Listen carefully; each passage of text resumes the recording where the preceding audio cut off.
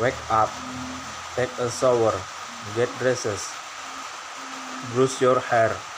make a make your bike, put on makeup, go to school,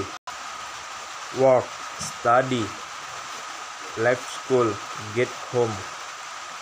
read a book, ride a bike, go shopping, exercise, vacuum, water the lawn, watch TV, do the laundry.